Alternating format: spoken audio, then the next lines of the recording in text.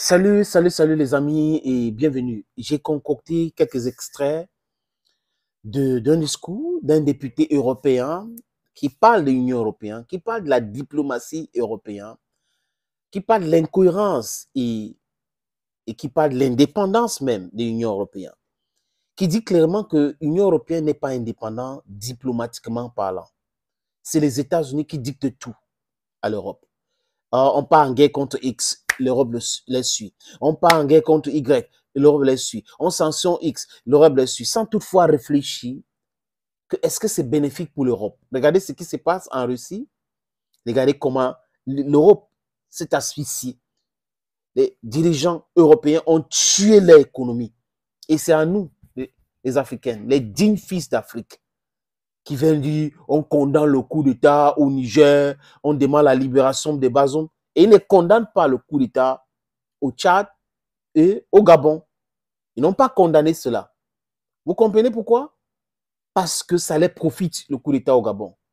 Vous avez vu ce que Olenguingue a fait devant Sassou Nguesso? Il nous a montré que c'est pas son truc. On lui a seulement donné. Ils n'ont pas condamné ce que Macron allait faire au Tchad. Ils n'ont pas condamné cela. Mais ils suivent aveuglement ou bêtement, disons ça comme ça, des Américains dans les entreprises guerrières américaines. Et là, ces députés européens pinpointed these things and j'ai choisi, je crois, six extraits, six ou sept extraits que je vais vous proposer, les amis. On écoute ce premier extrait.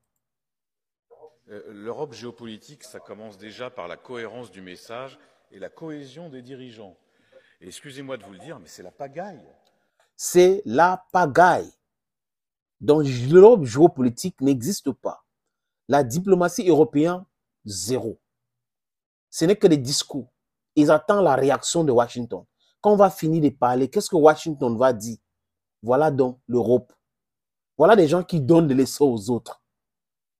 Regardez, les États-Unis disent qu'il faut aller attaquer l'Irak. Ils disent oui, il faut aller attaquer l'Irak. On doit aller en Afghanistan. Ils disent oui, il faut aller en Afghanistan. Il faut sanctionner la Russie. Oui, ils disent il faut sanctionner la Russie. Voilà donc des gens qui prétendent donner des leçons au peuple africain et aux pays africains. La prochaine euh, vidéo, cette petite extrait, les amis, c'est pour vous. Regardez. Vous avez d'un côté un commissaire qui annonce unilatéralement qu'il suspend l'aide aux Palestiniens, une autre commissaire qui le dément dans la journée. On attend deux jours pour avoir la position de la Commission, finalement triple l'aide. Bon, Donc, même le discours, il n'y a pas la cohérence. On dirait qu'il n'y a pas, à l'interne là, la communication n'est pas fluide. Donc, un commissaire dit Y, nous, on va suspendre l'aide aux Palestiniennes. L'autre dit non, tu n'as pas le droit de dire cela. L'autre dit qu'on va le donner. Donc, le député est mélangé. Il est député. Et voilà les gens qui sont dans leur propre incohérence. Les gens qui n'arrivent pas à s'entendre entre eux, qui sont dans l'unité, l'union. C'est ensemble. Mais les différents commissaires qui ont les différents points de vue, donc diplomatiquement, ils n'existent pas. Parce qu'ils attendent. Si les Américains disent on, ne finance pas, ils disent aussi on ne finance pas. Si les Américains disent on continue de financer, ils disent on continue de financer. Mais c'est pas possible. C'est pas possible. Vous voyez vous-même, ce n'est pas nous qui le disons. C'est leurs propres membres qui, qui sont en train de les déconstruire aujourd'hui. Leurs propres membres qui voient les incohérences. Parce que le travail que vous faites, les amis, le travail que vous faites, c'est un travail formidable. C'est en train de les perturber. Et ils voient l'importance et la cohérence dans notre discours. Parce que leur double langage, les deux poids, deux mesures, sautent à l'œil. Et on leur dit ça, en les regardant dans les yeux, voilà, voilà, regardez ce que vous êtes en train de faire. Voilà, voilà, voilà, voilà. Est-ce que c'est normal? Est-ce que c'est cohérent? Est-ce que ce discours est normal? Est-ce que vous pouvez soutenir des gens qui sont en train de coloniser les autres? Est-ce que vous devrez, vous devrez? Et ces temps qui ont une certaine clairvoyance commencent à parler et parler fort, les amis. En Belgique, il y a un parti politique là qui parle fort contre ces injustices-là. C'est une bonne chose. Et c'est ça. C'est-à-dire que regardez ces, ces, vidéos que nous vous proposons, ces extraits, ça, ça va fortifier le, le, guerrier qui est en nous pour continuer à combattre, pour continuer à nous libérer. nos combats est digne, loi, parce que nous sommes en train de nous libérer des injustices, des gens qui veulent nous maintenir en prison. Nous disons non, nous ne voulons pas être en prison. Non, non, non, non, non. Laissez-nous tranquilles. Les amis, écoutez cette prochaine extrait de ce député, député européen. Il nous parle, il vous parle, il parle aux Européens. Vous avez Madame van der Leyen, elle sera en Israël, elle tient un message totalement euh, déséquilibré. Il faut que le président du Conseil, Monsieur Michel, convoque une réunion, d'ailleurs aujourd'hui, pour la rappeler à l'ordre. Ursula von der Leyen, qui n'est votée par personne. Cette ministre des Affaires étrangères allemande, qui est présidente de la Commission, qui dit qu'elle se comporte en Europe comme si elle est le chef d'État de, de l'Europe. Macron va aller à gauche, elle doit être là. Telle autre personne, à droite, elle doit être là. Les amis, et elle fait des déclarations sans consulter les autres commissaires, sans consulter même son bureau, sans consulter l'Union européenne. Elle fait ces déclarations et on, on lui rappelle à l'ordre, voilà donc cette Union européenne. Et ça, c'est des, des unions européennes, je pense. Des gens qui existent uniquement pour imposer les choses en Afrique et pour, faire peur à certains vassaux africains. Parce que même en Tunisie, vous avez vu, Kaïs Saïd, qui est un raïsiste, les amis, je ne vais pas voir, il est R-A-S-I-S-M-E, c'est comme ça, a pris de l'argent pour déshumaniser les Africains, les envoyer dans le désert libyen. De quoi on parle de 1 milliard d'euros pour que les gens ne traversent pas pour aller en Europe. Qu'est-ce qui s'est passé? Les députés européens voulaient venir en Tunisie pour contrôler certaines choses là-bas. Lui, il a dit non. Non, non, non. Donc, nous devons apprendre. Les vassaux là devraient apprendre. Continuons à les mettre sous pression énorme, les amis. Mettons ces gars-là en Afrique centrale, en Afrique de l'Ouest, sous pression énorme. La pression doit être vraiment énorme pour qu'ils comprennent quelque chose. Cette Union européenne est tellement incohérente. Cette Union européenne, diplomatiquement, n'existe pas. Donc, personne ne devrait avoir peur de cette Union européenne. On doit les envoyer en brousse tout avec leurs commentaires sur le Niger, les amis. Regardez et écoutez ces prochains extraits.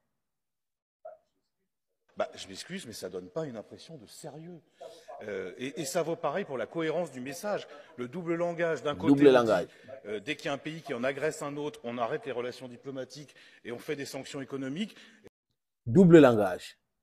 Un pays, selon eux, agresse un autre, sanctions économiques. Un autre pays agresse un peuple, il n'y a pas de sanctions, il n'y a rien. C'est ça, c'est de ça qu'on parle. Et quand Vladimir Poutine expose cette faiblesse européenne, ah non, Poutine a fait, mais c'est une réalité. C'est une réalité que, qui saute à l'œil, que l'Union européenne est incohérente, que les Européens et les Occidentaux ont un double langage, double standard, et c'est pour cette raison que nous ne pouvons pas dire qu'on les suit dans leurs entreprises saudites, les amis. Nous devrons penser africaine, penser régler nos problèmes africains. Nous sommes des Africains. Oh, écoutons cet autre extrait. Il nous reste encore deux extraits. Madame van der Leyen qui va en grande pompe en Azerbaïdjan pour célébrer un accord gazier alors que le nettoyage ethnique a déjà commencé au Haut-Karabakh. Bah, ce double langage, je m'excuse, mais l'Europe géopolitique, ça fait pas sérieux non plus. Ça ne fait pas sérieux l'Europe géopolitique. Non, on va pas travailler avec telle personne, ils sont en train d'attaquer telle. Azerbaïdjan a attaqué au Karabakh, les minorités qui étaient là-bas sont sorties, sont parties, mais l'Union européenne qui a besoin du gaz est allée à Azerbaïdjan, je parle de von et qui tape la poitrine. Oui, en dehors de la Russie, aujourd'hui, on a notre source d'énergie, Azerbaïdjan. Pendant ce temps, la France est en train d'envoyer des armes à l'Arménie. Donc, tandis que, ou qui fait quoi, ou qui dit quoi, ou qui est qui en Union européenne, vous ne pouvez pas savoir. Il n'y a pas de cohérence. Il n'y a pas de cohérence. Chacun est roi. Donc, on a des rois qui prétendent être le roi à l'Union européenne. Von der Leyen qui est un personnage clivant, d'abord pour commencer, et qui n'est pas cohérente. Parce que si on condamne le bleu, le bleu, on ne doit pas mettre le bleu ici, je dis n'importe quoi. Il faut condamner cela. Quand tant que vous ne condamnez pas pour les autres, ou quand les autres mettent, vous ne condamnez pas, ça pose un énorme problème. Vous ne pouvez pas condamner quand c'est le sénateur, le Nguiman, I'm, from Guy, et Konaman, et quand c'est quelqu'un qui est à Berlin qui fait ça, vous ne condamnez pas, ça pose un énorme problème. Ça, ça, ça dit que ça dilue votre message. Ça démontre que vous n'êtes pas des gens sérieux. Vous n'êtes pas des personnes sérieuses. Euh, avant-dernier extrait, les amis, on regarde. La troisième chose, et peut-être la plus importante, c'est quand même notre indépendance. Or, très clairement, dans la Commission européenne et singulièrement avec la présidente de la Commission européenne, il y a un problème d'alignement systématique sur la position des Américains. Voilà. Ursula von der Leyen s'aligne de façon systématique les Américains disent 1 plus 1 égale 2. Aussi, la le dit 1 plus 1 égale 2. Tonton Amérique a déjà parlé. Euh, bon, on va aller discuter avec les Chinois. Non, on va aller discuter avec les Chinois. Non, il faut sanctionner, vraiment sanctionner les Iraniennes. Oh, il faut sanctionner les Iraniennes. Euh, L'Irak est en train de faire quelque chose de mauvais, c'est les, États-Unis qui parlent. Oh, l'Irak est en train de faire quelque chose de mauvais. Oh, en Syrie, y a-t-elle? En Syrie, a-t-elle? Donc, c'est une caisse de résonance. Von der Leyen est américaine dans sa tête. Et pour vendre l'Union européenne, c'est les États-Unis d'Amérique qui gèrent. Pour vendre elle n'a pas à réfléchir. Quand les Américains ont fini de réfléchir, elle suit tout simplement. Et c'est ce que nous nous disons ici, depuis les opérations spéciales russes ou la guerre en Ukraine, les amis. On a dit ça ici. L'incohérence dans le discours des Européens, l'incohérence dans le discours des médias occidentaux, euh, la presse occidentale. Nous avons nous, avons passé notre temps à dire ici que ces gens-là sont de mythos. Les diplomates européens ne sont pas sérieux. Ils n'ont pas un langage clair. Ils n'ont pas un langage clair. Tout ce qu'ils disent, tout ça tourne, autour du mensonge, mensonge, mensonge répété, les amis. Voilà que d'autres sont en train de dire aujourd'hui, entre eux-mêmes, ça ne va pas parce que leur propre discours semble ne pas passer, les amis. Ces derniers extraits, regardons ces derniers extraits, les amis tout ce qu'on veut sur l'Europe géopolitique souveraine, indépendante, mais pour l'instant, c'est des mots, mais il n'y a pas les actes. Voilà. C'est des gens qui parlent beaucoup, mais l'action ne suit pas. Ils disent des choses, des principes. Nos principes sont, nos principes sont, mais au cas par cas, ils piétinent leurs propres principes. Ils ne respectent rien dans ce qu'ils ont, ils ont dit au préalable. Et c'est comme ça que les Européens fonctionnent. Désolé de le dire, mais malheureusement, c'est comme ça que les Européens fonctionnent. Et it takes this guy to say it clearly, friends. Voyez, non, les amis. Thank you for always watching videos on this platform. Stay blessed and bye bye for now. Hello, hello, friends. Salut, les amis. Ici, le sénateur Clétus, votre humble serviteur, votre ami, votre camarade. Ce que je vais vous dire là, ce n'est pas de la publicité, mais une information importante. Je sais que la diaspora travaille d'arrache-pied pour construire des sociétés, pour embellir les villes et les vies des gens qui sont ici en Afrique. Et cette diaspora qui travaille, qui est travailleuse, les amis, se pose souvent la question à savoir les moyens fiables et rapides d'envoi d'argent en Afrique. Oui, les amis, la solution, c'est Sendwave. Avec Sendwave, c'est facile et c'est rapide. Avec Sendwave, vous pouvez envoyer jusqu'à 10 000 euros et pousser votre limite jusqu'à 40 000 euros. Je répète, jusqu'à 40 000 euros, les amis.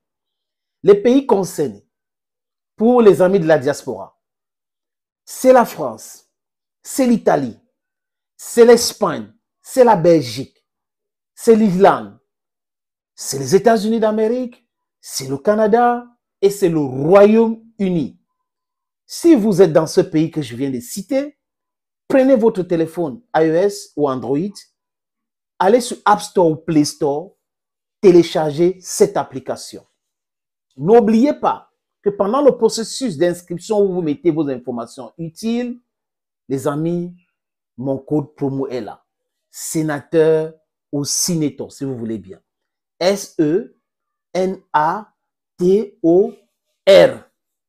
lors de votre première transaction, ça va vous donner droit à quoi? 10 euros de bonus. Oui, les amis. Pour le private vraiment, c'est fiable. Je suis fiable. J'ai des amis qui ont déjà testé.